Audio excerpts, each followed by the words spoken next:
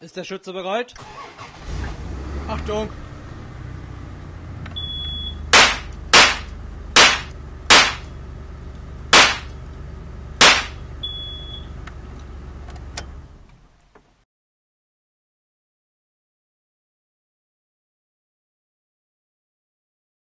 In diesem Video möchte ich das Einbauen vom FAC-Kit von der Firma Vormach für das Luftgewehr HW77 oder HW97 vorführen.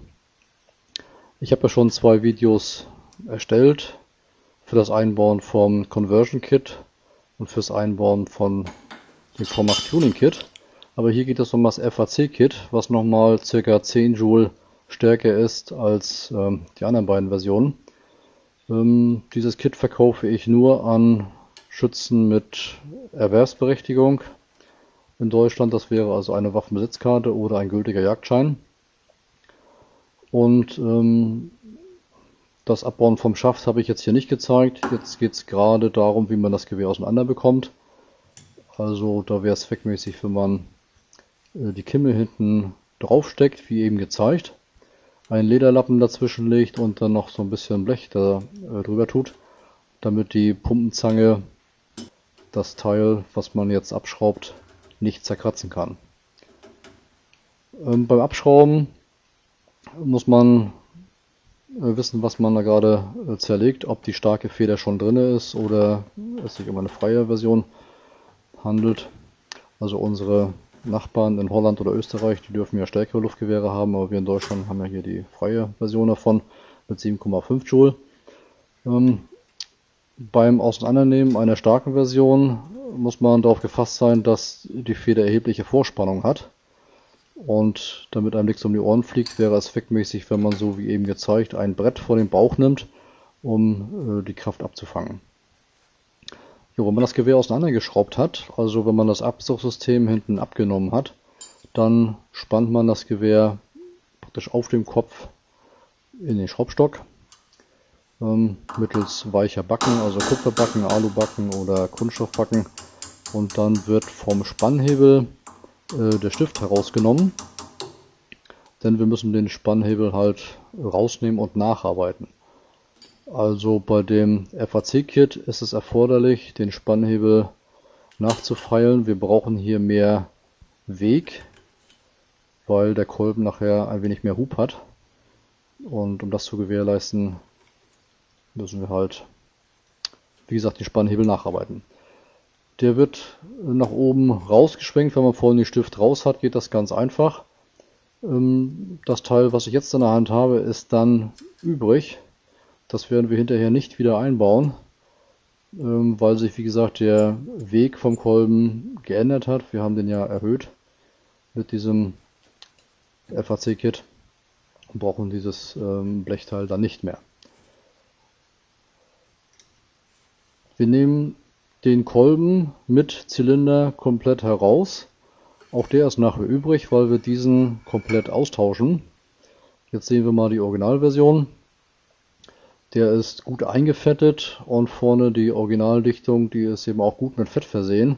Und das wollen wir in der Zukunft gerade vermeiden. Also das ähm, Vormach Tuning Kit und auch dieses FAC Kit, die werden komplett entfettet ähm, verbaut und da verwendet man am besten, das ist jedenfalls meine Erfahrung, Molybdensulfid. Das ist ein Trockenschmierstoff ähm, und damit vermeidet man dann zuverlässig den sogenannten Diesel-Effekt. Damit ist gemeint, dass sich ähm, Öl oder äh, Fettnebel bei der Verdichtung entzündet und man hat dann eine ungleichmäßige ähm, Geschossgeschwindigkeit durch den unterschiedlichen Druck, der sich daraus ergibt. Dieses FAC-Kit habe ich mit Molybdensulfid äh, komplett eingefettet, das heißt, ich habe auch die Dichtung ähm, gut damit versehen und das ganze System eigentlich, weil ähm, das hat sich bestens bewährt. Ähm, Molybdensulfid ist in dem Kit nicht enthalten, das müssten Sie dazu kaufen, aber das können Sie auf meiner Webseite für kleines Geld bekommen. Ähm, ich verkaufe das in Größenordnung von 2 Gramm, also ein Röhrchen zu 2 Gramm. Das reicht so für drei Anwendungen, ist also dicke genug. Ja, jetzt geht es ähm, darum, dass wir hier den Hebelweg verändern müssen, damit das neue System im Abzugssystem einrastet. Das probiert man am besten, indem man ähm, da einen Bohrer reinsteckt und bei der Montage dann die Feder zunächst einmal nicht einbaut, dass man also immer wieder probieren kann, ob das, was man an Material nachgefeilt hat, auch wirklich ausreicht, damit halt der Kolben im Abzugssystem zuverlässig einrastet. Ja, wir müssen also den Spannhebel nachfeilen. Das wird dann auch gleich gezeigt.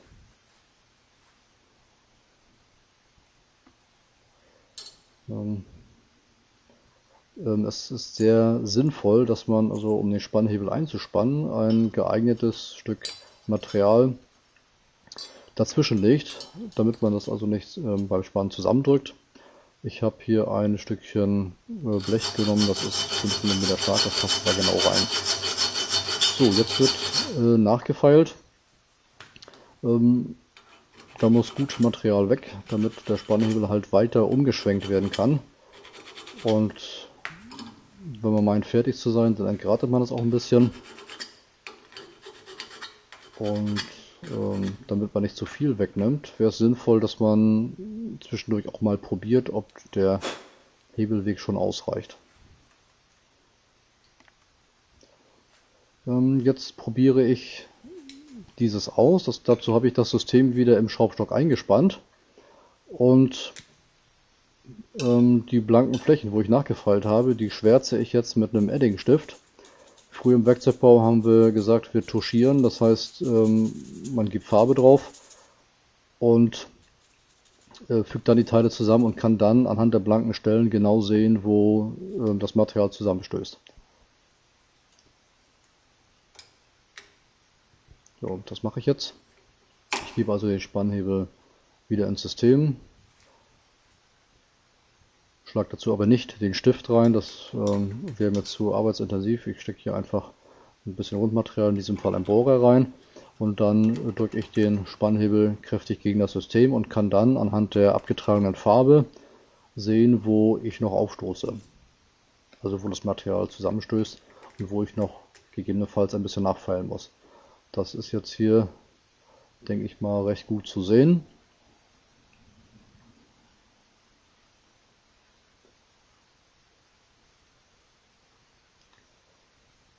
Und ähm, ich werde jetzt im System auch noch ein bisschen ähm, die Nuten nachfeilen, weil das da noch ein bisschen geklemmt hat. Das ist hier am Spannhebel ganz gut zu sehen. Da sind halt die blanken Stellen, wo ich noch ein bisschen nacharbeiten muss, aber in dem Fall tue ich das an dem System.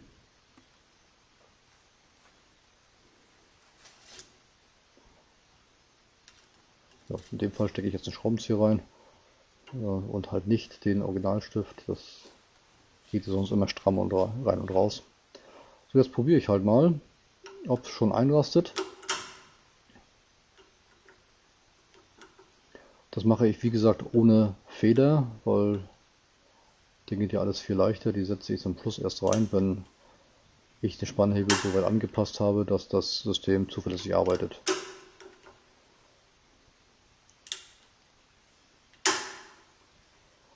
Ja, diese Anleitung ist wie gesagt für Sportschützen und Jäger gedacht, die entsprechende Erlaubnis haben, solche Sachen auch zu verwenden. Oder für Büchsenmacher, Kollegen, die das natürlich auch machen dürfen. Ja, die Nuten wo der Spannhebel praktisch drin läuft, die habe ich ein wenig nachgefeilt, weil genau da der Spannhebel aufgelaufen ist. Das habe ich also durch Tuschieren gesehen. Ähm, die Spannhebel arbeite ich hier noch ein bisschen nach und dann wird am Ende alles mit Sandpapier geglättet. Und wenn ich das gemacht habe, dann wird der Spannhebel schwarz gemacht. Wenn man es sich einfach machen will, dann nimmt man einfach einen Edding. Wenn man es besser machen will, dann nimmt man Bruniermittel. Da gibt es Schnellbrunierung. Die trägt man am besten mit einem Wattestäbchen auf und dann kann man also das Teil wieder entsprechend nachbrunieren. Ähm, es würde sich sehr gut machen, wenn man mittels Pressluft die Späne und Reste von Schleifpapier ausbläst, damit also ähm, das nachher nicht frisst und schleift. Also macht man alles schön sauber. Wenn das nicht geht, dann nimmt man Wattestäbchen, damit kommt man auch gut in die äh, Nuten und kann diese auch prima säubern. So, jetzt baue ich den Spannhebel wieder ein. Vorher probiere ich nochmal in Ruhe, ob das auch vernünftig funktioniert.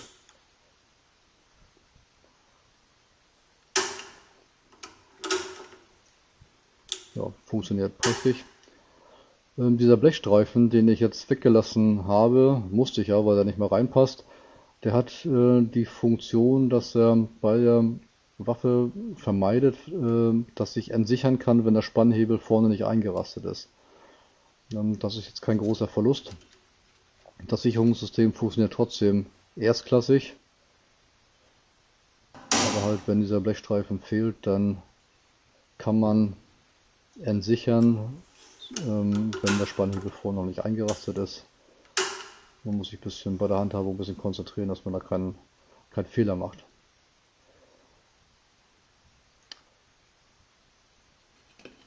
Jo, jetzt probiere ich mal den Schaft anzusetzen. Auch den müssen wir nacharbeiten. Ähm, das ist in diesem Fall zumindest äh, nur ganz wenig Material. Also ich setze den Schaft an, bewege den Spannhebel an die neue Endposition. Der lässt sich jetzt ja weiter durchspannen. Und ähm, das Material eckt jetzt am Schaft an. Und ich sehe nachher sehr deutlich, wo ich da noch was wegnehmen muss. Also das ist relativ wenig und auch nur einseitig. Da muss ich also ein bisschen nachfeilen. Die Kimme setze ich jedes Mal drauf, um hinten das Abzugssystem komplett rauszudrehen. Das ähm, hat sich sehr gut bewährt. Die Kimme wirkt in dem Fall als Anschlag für die Pumpenzange, dass man die nicht auf dem Abzugssystem verdreht und ähm, gegen äh, diesen äh, Rekordabzug äh, kommt, dass man den nicht verbiegt. Also das eigentliche Abzugssystem soll hier nicht verbogen werden, deswegen die Verwendung von, dem, äh, von der Kimme. Ähm, wir haben hier sehr wenig Vorspannung. Ich habe jetzt gerade die Feder ähm, dazugegeben.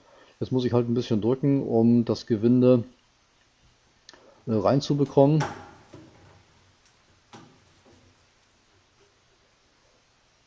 Das geht mittels Brett vom Bauch also sehr gut. Da kann man prima nachdrücken. Wenn man es reingeschraubt hat, dann kriegt man natürlich nicht mit der Hand äh, das Abstoßsystem in die richtige Position gedreht. Da muss man wieder mit der Pumpenzange richtig zufassen. Ähm, wenn man es zusammengeschraubt hat, dann ist die Trennebene zwischen dem System und dem ähm, Endstück, wo das Abstoßsystem drin ist, also ganz schlecht zu sehen, weil das also ein ganz, ganz feiner Spalt ist. Ähm, wenn man es nicht weiß, sieht man es kaum. Ist also sehr dicht zusammen. Also man muss da manchmal ein bisschen hin und her drehen, dass man das Abzugssystem in die richtige Position verdreht, damit dann die Kimme wieder rübergeschoben werden kann über die Nut. Also oben hat man den Schwalbenschwanz, wo das Zielfinder drauf kommt. Und damit die Kimme halt da äh, drüber gleiten kann, muss man das mal ein bisschen hin und her drehen, dass man dann die richtige Position hat. So, am Ende kommt unten die Indexschraube wieder rein.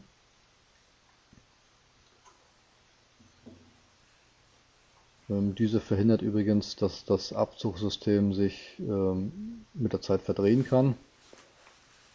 Und jetzt feile ich den Schaft nach. Dazu spanne ich den in dem Fall in die Hobelwaage ein und werde dann einfach die Stellen, die ich vorher schon ermittelt habe, ein bisschen nachfeilen.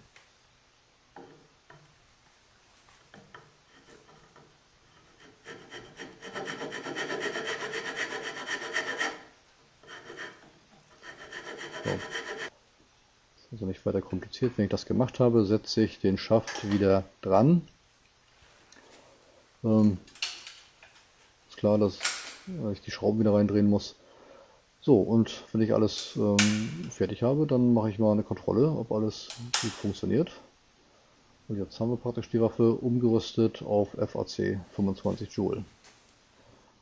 Jo, danke für Ihre Aufmerksamkeit und viel Erfolg.